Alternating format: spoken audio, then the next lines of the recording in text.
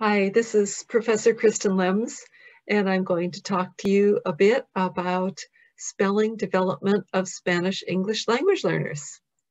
And now I will share my screen. So this topic is factors that influence the spelling development of Spanish English language learners.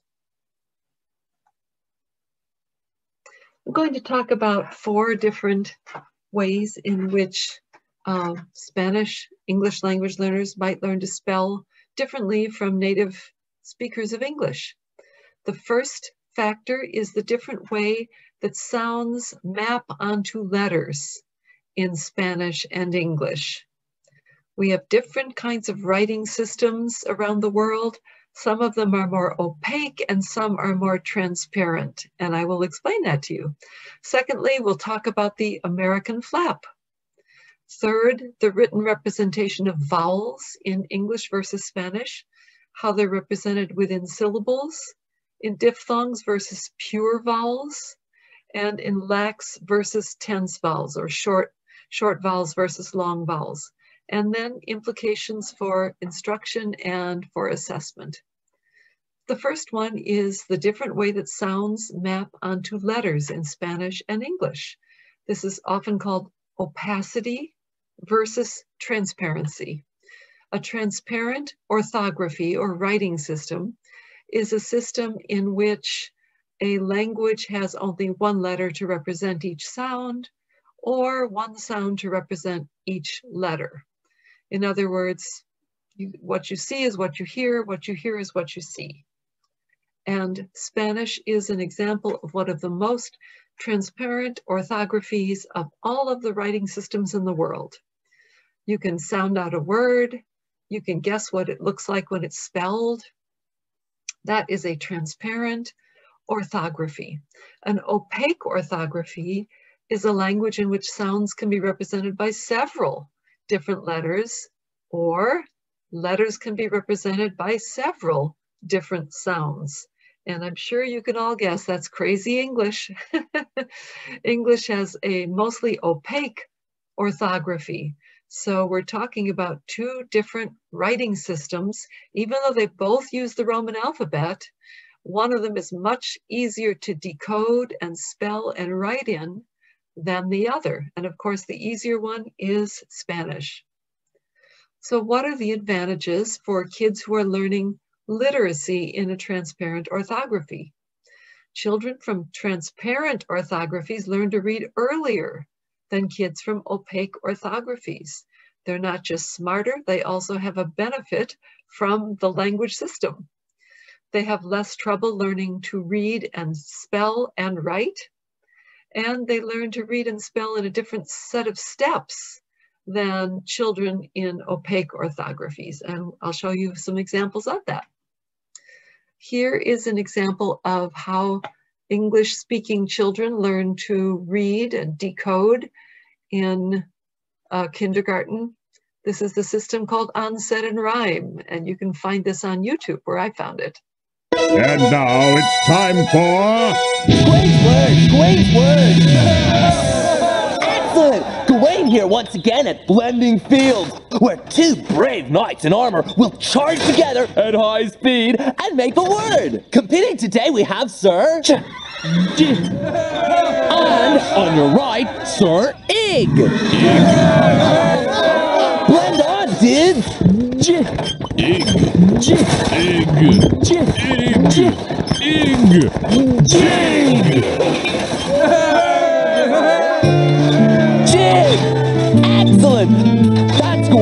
For today. And this is saying, hope you liked our thingamajig.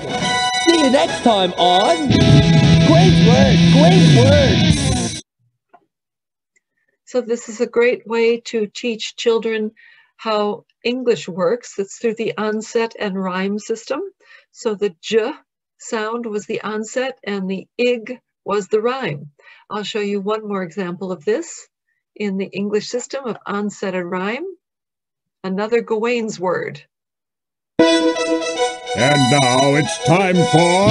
Gawain's word, Gawain's word. Excellent! Gawain here once again at Blending Fields, where two brave knights in armor will charge together at high speed and make a word. Competing today we have Sir and Sir Eep. Blend on, dudes. Eep. Woof. Eep. Woof. Eep. Woof. Eep. Eep.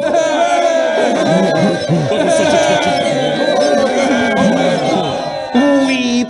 Excellent. That's Gawain's word for today. And this is Gwen saying, from deep in my armor, huh? I'll see you next time on Gawain's word. Gawain's word.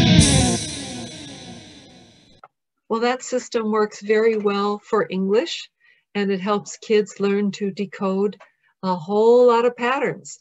But if you tried to apply that to Spanish, it would not get you anywhere because Spanish, being a more transparent orthography, uses a different system, syllabes, and here's an example of it.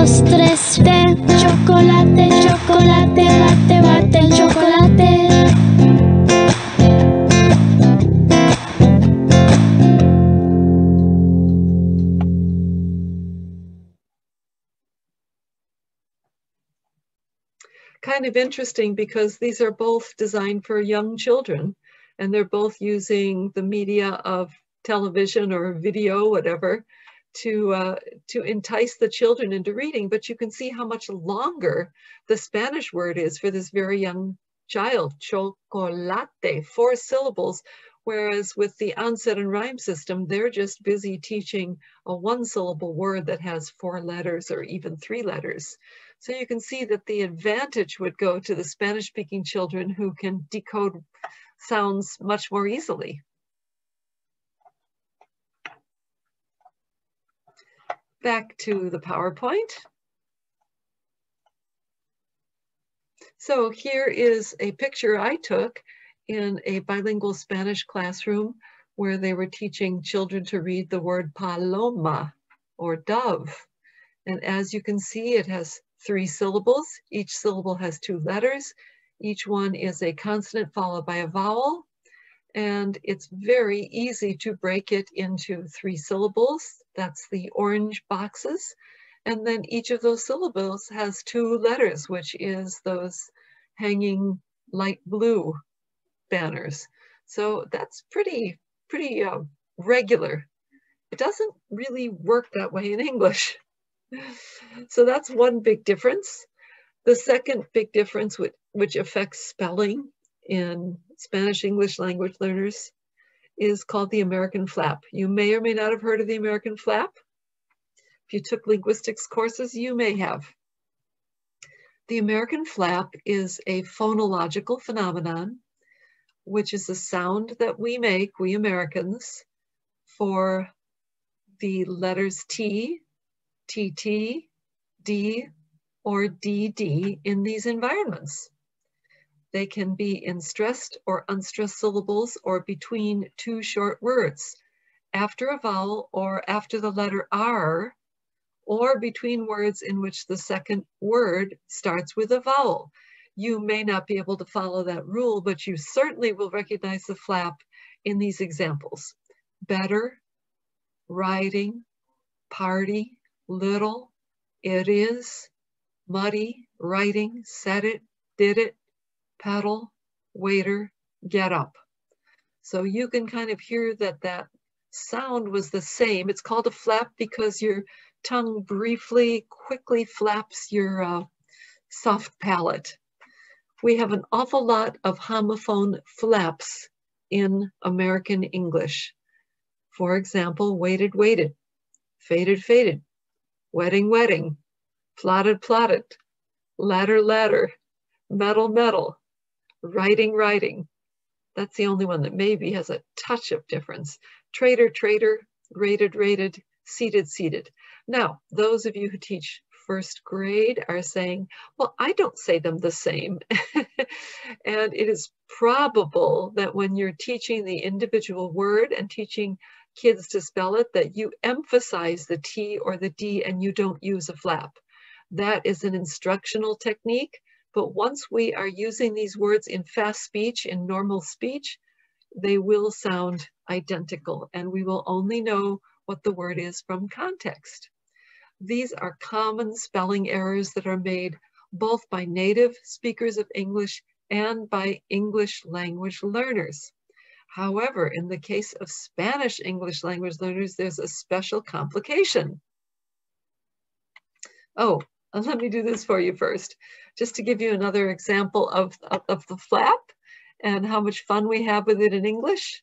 It's the uh, Mairzy Doats sound song.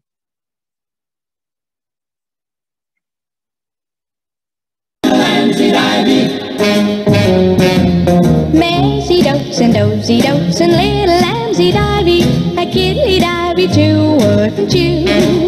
Yes, Maisy dotes and dozy dotes and little lambsy divey, a kiddly divey too, wouldn't you? If the words sound queer and funny to your ear, a little bit jumbled and jivey, sing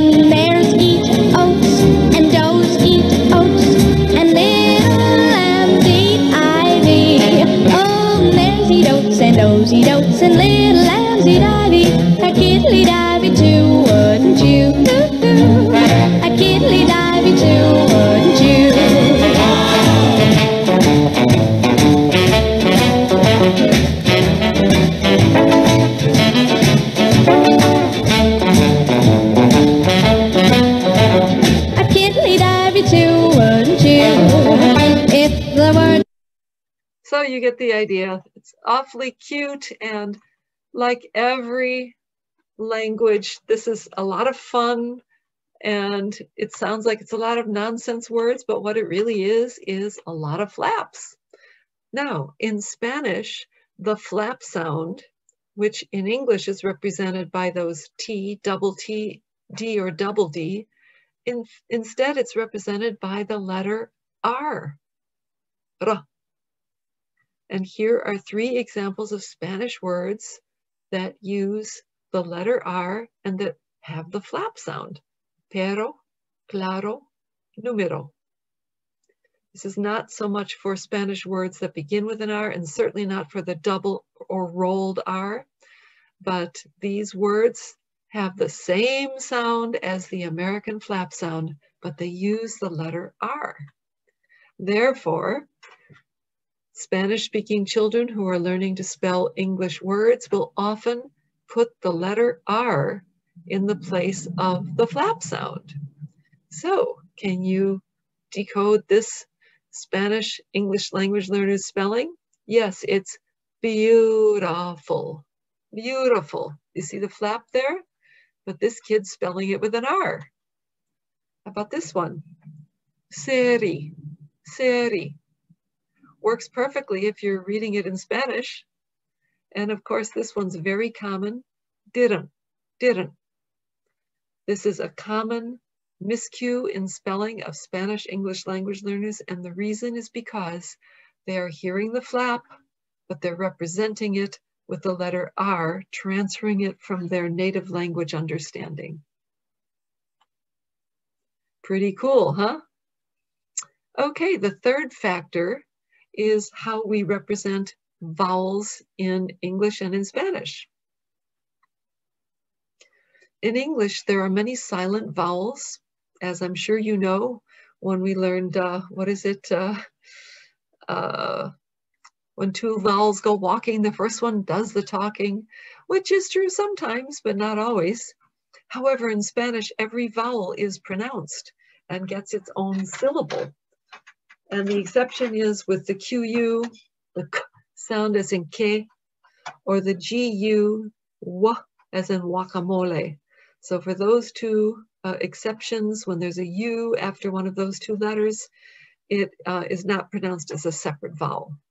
But when you look at a word like K-I-S-S-E-D, when a Spanish English language learner is learning to pronounce that word, their native speaker knowledge would convince them that they ought to pronounce this as a two syllable word, kissed. Why? Because they see the vowel E and they figure that ud should be its own syllable. That's smart and it would work in Spanish. Another factor is diphthongs. Long vowels in English are actually not one vowel sound, but there are two that are written with one letter. For example, the long A sound is A. The long E sound is E. Long I, I. Long O, O. And long U is U. Now, you as a native speaker of English are not used to hearing those two different vowel sounds. But if you're teaching English language learners, it becomes very important because Spanish English language learners will hear the two vowel sounds and try to represent both of them in writing. Also, since Spanish is transparent, Spanish speaking learners go through a different progression in learning to spell and they stay on the letter name stage longer because it works for them in Spanish. So in spelling English words, the Spanish letter name like A, E, I, O, U will often be used to represent the sound of an English word. So for example, you might see feel spelled F-I-L for the word feel in English, F-E-E-L, because E in the letter F-E-E-L, when children hear that, it sounds like the alphabet letter E in Spanish, which is the letter I, but they would say E. Same thing with take. Instead of a long A, they will write the letter E because they go A, B, C, C, D, E. So the letter E in Spanish is pronounced as what we would call the long A sound. This can help you understand the nature of some of the spelling miscues of Spanish English language learners. Try to read this out loud. This is taken from the Hudelson, Hudelson book, Evaluating Reading and Valuing the Reader. It's a sample of writing from a third grader, a Spanish speaking third grader in a transitional TBE program. So I'm going to read it out loud. You're probably reading it to yourself. What I didn't understand was that Helen always kicked and screamed. It was very strange. How did she get blind and deaf with just a fever? It was a really strange fever. And she even graduated from college and they named a boat after her. so you can tell that this is a story about Helen Keller. And if you look at it, you can recognize many of the developmental spelling stages here. Some of them look like the same stages that English speakers, native English speakers go through, and others look different. And here's kind of a list of them. So the sound level and the pattern level would be the same for a native speaker of English for example, putting the WH and a TH because the kid knows that there should be an H in there somewhere, but they're not sure where it goes, so they figure they'll put two of them. or uh, kicked, or the K, they're not sure if uh, the K sound is represented by the letter C or by the letter, letter CK. So they, they know some rule, they're just not applying it yet. But look at all of these words that show the Spanish effect. Always, so instead of A-Y-S, the Spanish English language learner hears the vowel sound I from Spanish. Didn't, which we talked about earlier. Really, same thing with the E. We would call it the long E sound in English, but it's spelled as the letter I in Spanish. Strange, because the J sound doesn't occur in Spanish, and that's the closest thing to it.